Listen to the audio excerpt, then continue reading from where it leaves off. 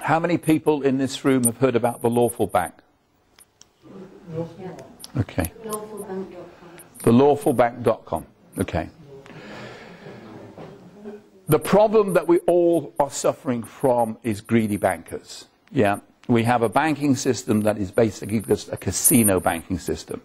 And as a direct consequence of it, we are being pushed onto a treadmill to pay taxes, ever more increasing taxes and fines and penalty fines and so on and so forth, because they need more money. And what's happening is the more and more people who are getting on the greedy treadmill, the more and more money they need from us to feed them. Okay? And, and that's the issue at the moment. We know the system's going to collapse. We don't know exactly when, but we know it's getting near. Um, and obviously, we, we, we sort of give advice to people as, as far as, as what they can do to, to ease their situation. Um, people have mentioned make sure you've got spare food in the house, that sort of thing. But I don't want to focus on that. What I want to explain to you is that the solution to the problem is our own monetary system. And the lawful bank is the start towards that. Um, what is a monetary system? Okay, it's if we take this room as a community, and if we assume that we have all the resources that we need to live our lives normally, food, petrol, etc., um, the money would just be a, a tool to allow us to exchange those resources. It is of no value whatsoever. Yeah, that's the basic format for, for money is to allow us to exchange our resources. So if we create our own monetary system, the one thing that we need to make our monetary system work are the resources. So in order to find the resources, we need a critical mass of people. And what we're doing with the lawful bank is we're as- asking people to sign up to the lawful bank so we can start building our numbers. And when we have sufficient numbers, we can literally just create our own monetary system. It, it really is as simple as that. It, in, in all the things that we are doing, the one thing I keep saying to people is all we need is the numbers. It's numbers, numbers, numbers. So the ongoing situation with the lawful bank is this. At some point in the future, we'll be able to actually launch our bank. And this is the way it will work. If you bring £100 into our bank, we will actually, using the fractional reserve system, give you £1,000 worth of credit. Okay? Now, we will take the £100 of their money and we will retire it. And we will create our own currency. And we're hoping to be able to use that currency in our local retailers. And if the local retailer says, is this worth anything? We say, yes, it is. We can actually exchange that for one of theirs. So we build confidence in our currency. And on the back of that confidence, we'll, be, we'll build uh, confidence in our system. Okay? The, the reason we're using fractional reserve banking is because any system of currency, in order to, to, um, to work, it needs liquidity. So you bring £100 in, we will create £1,000 worth of credit, and that puts positive liquidity into the system. Now, can you do that? That's what they do. Okay? The difference between what we will be doing versus what they do, when they create the liquidity out of um, using fractional reserve banking, they take control of the money and they lend it out. And that's where their wealth is being created on the back of interest. What we do is we give it to you. Okay? So we will actually create the liquidity and that will be yours to use. Now, what's the point of liquidity if you can't spend it? And that's the key point, isn't it? The secret is to be able to spend that liquidity. So what we're going to do is we're going to set up escrow accounts for the gas companies, the electricity companies, the water companies, and the council tax. Yeah? So when you get your council tax bill or your electricity bill or your water bill or your gas bill, you'll be able to pay those through the escrow account and settle that bill. And when they say to you, well, you haven't paid your bill, you can say, well, yes, I have. Here's my bank statement says so. And they're going to say, well, hang on a minute. That money's just been created out of nothing.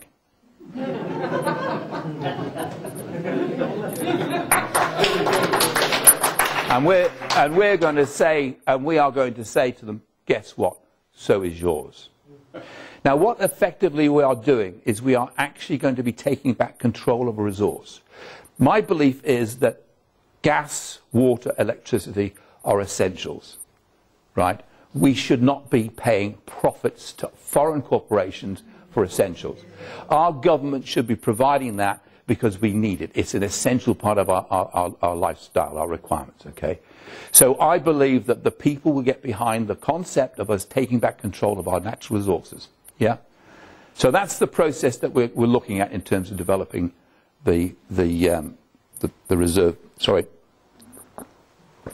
the fractional reserve system.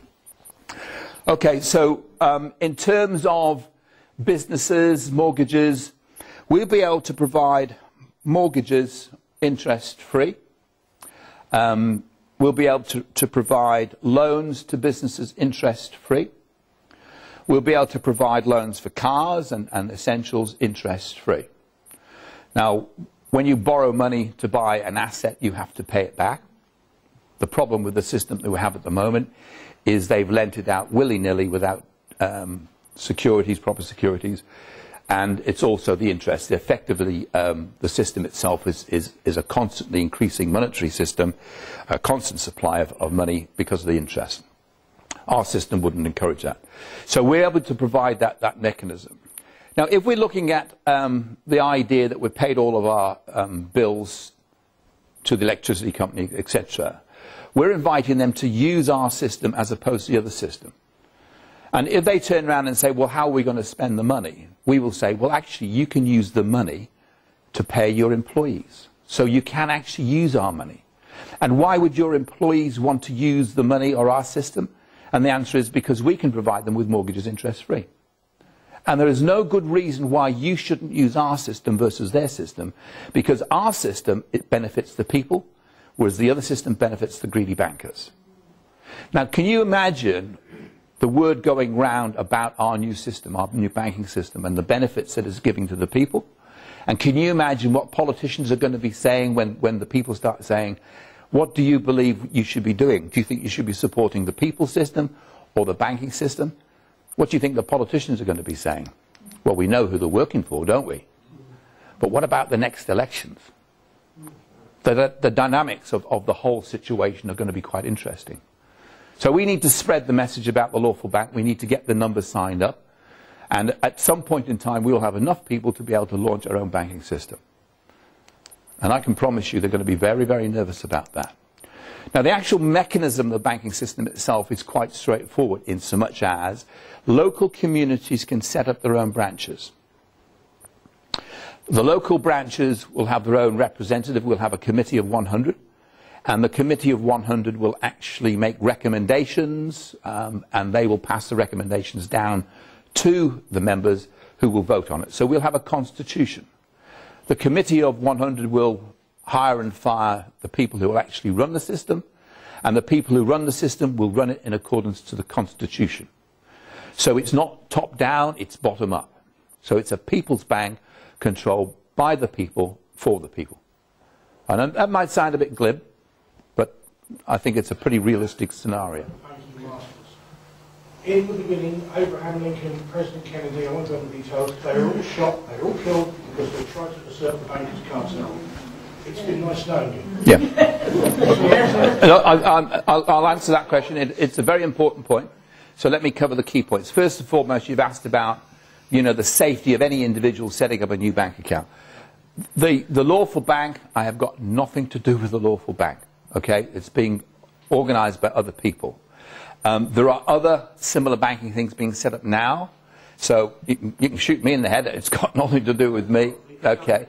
And the other thing, of course, is because it's each individual branch is, will be operated by half a dozen people. Half a dozen people can set up their own branch. Um, they, they could have 100 members, or they could have 500 members, whatever. We're anticipating thousands of branches all over the UK.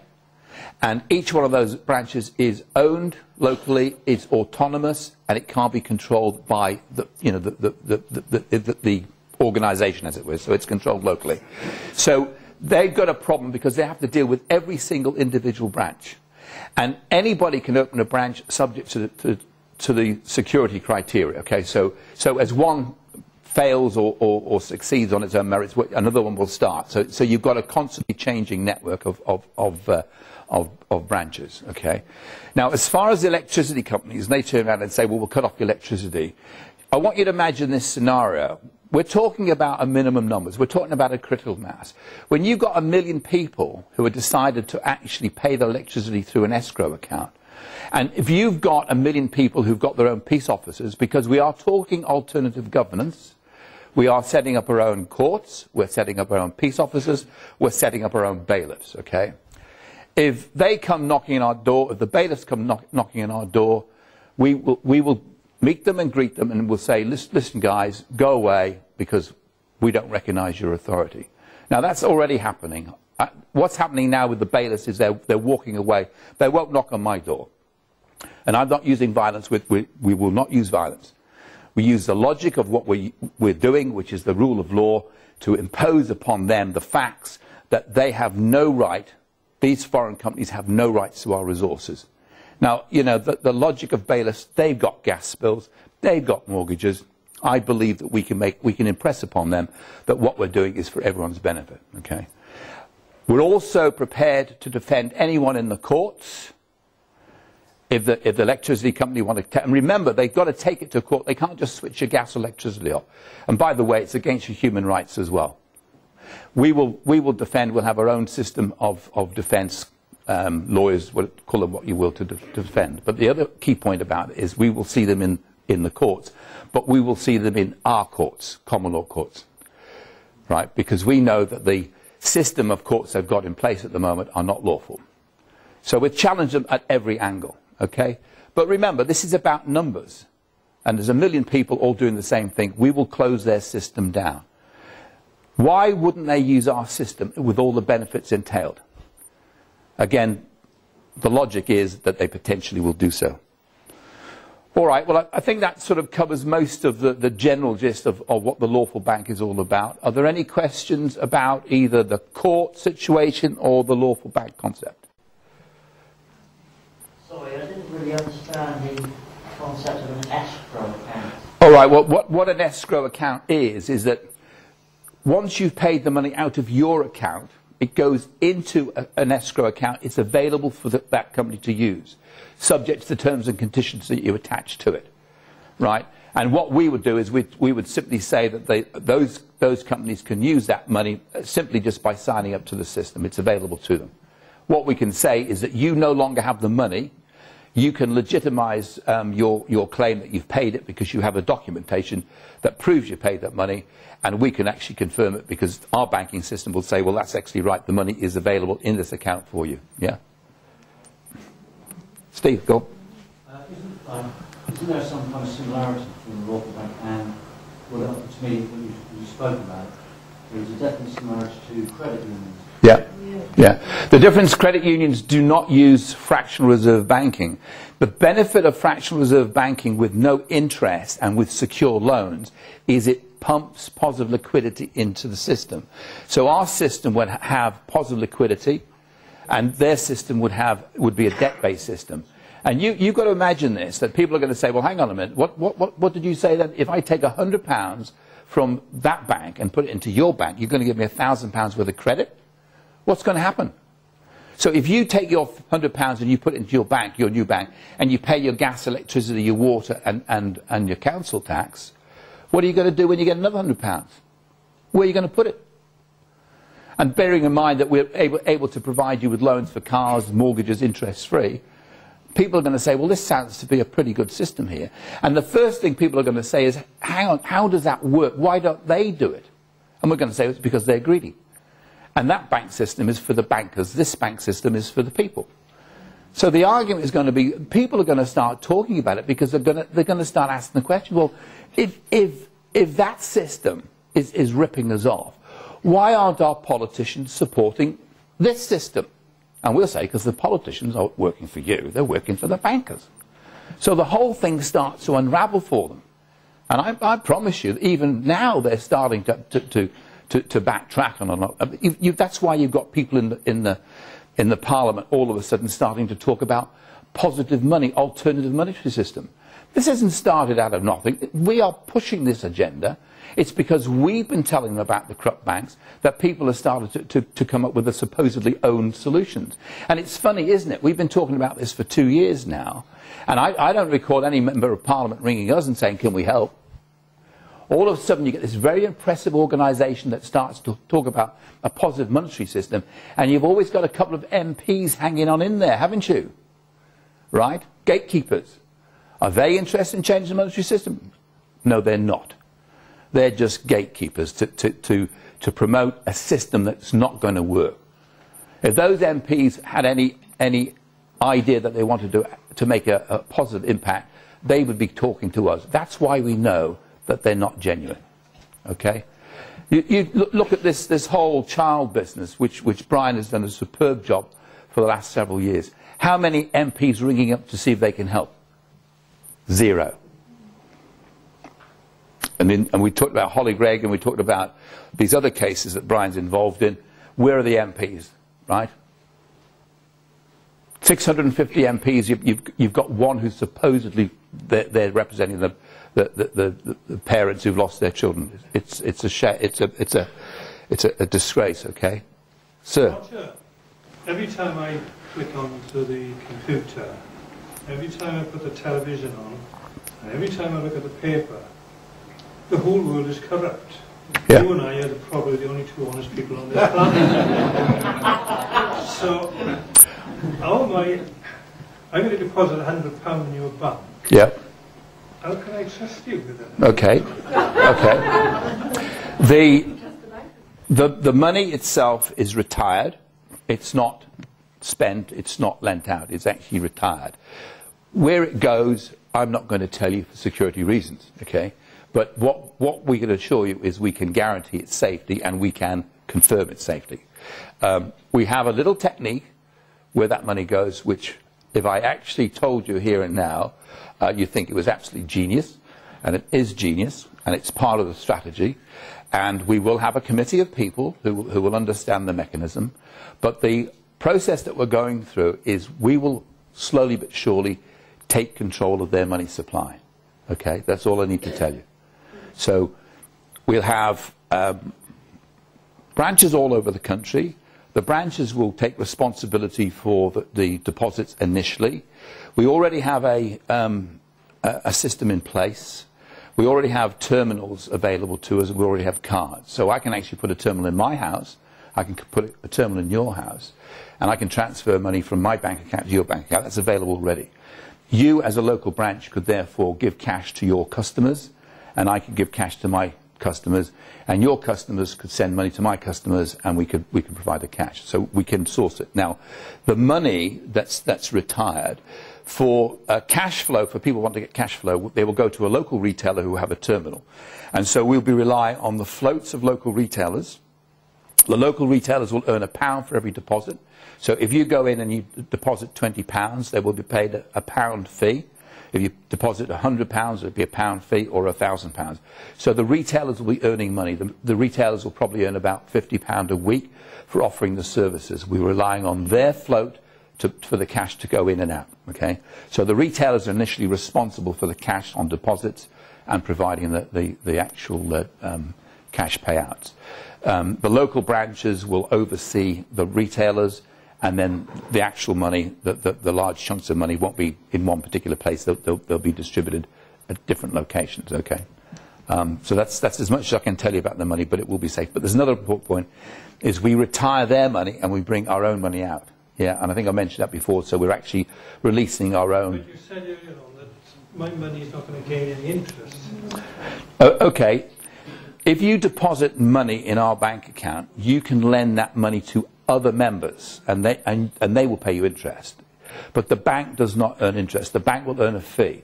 So if I, if, if I have a branch and I facilitate a loan to you, either, either, either the credit to buy something or cash from somewhere else, for example, if I'm going to get a mortgage, the fee uh, is 10%. So I've got to come up with £10,000 of cash. Yeah, real cash. I call it real cash from their system. And you, you would then, if you were, if you were borrowing that money, if you, if you're borrowing 100,000 for a loan, and you didn't have that 10,000 pounds, then you can borrow it from another member, and they can earn interest. So you, c- so you can earn interest, and you pay interest to other members, but not the bank. The bank just takes a fee. Okay? Does that make sense? So, so effectively, eff- effectively, what you have is, is you get an interest-free mortgage from the bank itself. But in order to, to secure that, that mortgage, you, you need to pay a fee of 10%. That, that fee of 10% comes from their system, and if you don't have the 10%, you can borrow it from a member with, within the, our system, and that's where members can actually earn um, interest on their money. I'll talk to you later. I'll explain it in greater detail if I miss it right. Go on. I'm assuming that the money you're going to use will be pounds sterling. Yeah, um, we, we, we use pound sterling initially, and then we retire it and re- replace it with our own currency, which would be, um, well, whether you call it sovereign pounds or give it another name, but yes, it's, it's, it's the equivalent of pound sterling, but it would be, it would be different in, in terms of its design. But it equates to, it has equal value. What space have we got out of the coinage? Sorry, would, would, Good question. would, would there be any immunity? Um, we, we all know that the euro's going to go down the plug on before long.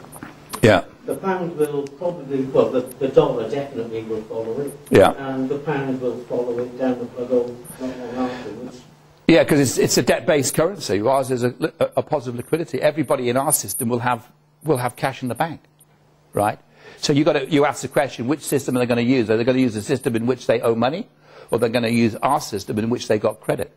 So, so th- there's got to be a natural transfer from their system to our system. It's not, it, it's not an action that happens on one day, it's a process. And that process, process happens when we got enough people signed up to the lawful bank or to other banks, okay? So the question I've got is that if, if, if their pounds become worthless, Yeah. does that mean that your pounds will become worthless? No, because you, you because everybody is going to need a means of exchange. Yeah? And if you've got money in the bank, you've got something to exchange. Okay? But if their system is based on debt and it collapses, there is no money. Right. Okay, so you, you've got a negative situation with, with their system. Hey? Eh? You're selling the infrastructure. Yes, that's all, that's all it is. It's, yeah, exactly. So go on. Is it realistic to expect, if this is successful, which I believe it will be, that it will bankrupt the Bank of England? Um, I'm not going to answer that question. I, I think. I, What will Nathan Rothschilds do?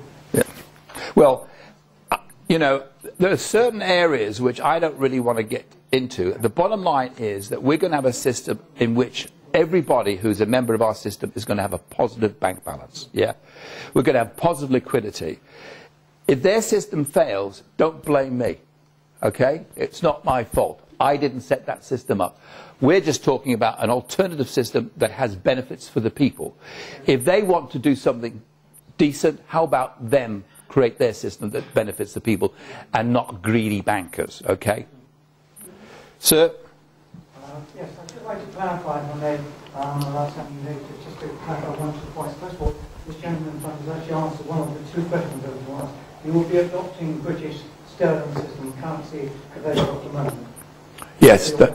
Yeah. The question, the main point the question I was going to ask was, if you're going to set up a, a series of independent banks called the lawful bank, would you not have to be come under the auspices of any regulatory body like the Financial Services Authority? And would have to impose uh, certain terms and conditions, would be, I would suggest, you would have to have, um, shall say, uh, a liquidity of money and assets which you've already acquired. The basic amount, you could say, stockpile of money, which you'd have to have as a minimum amount to make sure you, you know, obviously get financial difficulties. Where would that money come from, right at the very start? If I was to invest or deposit hundred pounds and say you'll be able to give back thousand pounds, where would that thousand pounds come from initially? Uh, okay. The, this is why it's important to understand what money is. That with the, the, the point in time that we launch our bank is when we have the members, the critical mass of members that can bring to the system the resources. Okay. Now that's the first point. That's a very important point because we are expecting members to trade with each other using the currency that we create. The idea of bringing £100 from their system to our system is that will give us the initial cash flow which we can use in the shops, okay? So it gives us cash in, in, our, in our pockets.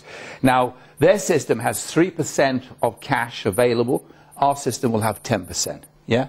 So the £1,000 is positive liquidity. It's, it's, it's, it's only its function is to allow us to exchange between us. Okay, that, that's the important thing. So when you say where does it come from, it literally is created from nothing, in exactly the same way as they create money from nothing. Because the purpose of money is just to provide a mechanism by which we can start to trade with each other. Yeah. So it's the resources that are important, not the money. The money has no real value. It's only the resources. Yeah. And I, I, I do understand that this whole concept takes a bit of getting round to. People say, where does the money come from? And when you say, well, it, it comes from, literally, you create it from nothing because it's only there to eat, to, to, to meet the, the, the trade of, of, of uh, resources. I'll give you an example. I mean, if I knit woolen sweaters, right, over the winter, I'll be selling them. But over the summer, I won't. Okay? So during the summer, when I want to buy my lettuce, I'm going to be giving IOUs to people. So an IOU is money. So I'm going to handing all these IOUs to these people to buy the letters. And come the winter, when they want sweaters, they're going to be bringing me IOUs back, aren't they? And, and I'll be giving them the sweaters in exchange for the IOUs that I gave to them for the letters during the summer. So the money was created out for nothing. But because of the delay in, in, the, in the, our different commodities, I'm requiring to borrow money in the summer and I get the cash flow back in the winter. So the money itself is not of any value, is it? What's of value is the lettuce and the sweaters. Yeah? Okay. Uh, there's a young man at the back that just wants one question and then... Okay. I don't know. Um, I was just going to say, like everyone here, I'm sure can agree with like this uh, bank that you're talking about. It's beneficial for everybody. But how, easy is it to sign up to this group Um, you just put your name on there. And, and that's the mechanism by which we communicate with you. That's the mechanism by which we sort of, we, we, we if you feed the, the, the, the concept, how it works, etc. Because obviously it, it's, there's a lot of it, other issues attached to it. Um, I th- was there, there, was a, there was a question, part of your question I didn't answer. Uh, I can't remember what it was now, but there's so many different aspects of banking, and we've covered them all, but I may not explain them all tonight. But, but through, that, uh, through that website, you, you'll get the, the, the details uh, emailed to you. So that, you just literally sign up. It doesn't cost anything.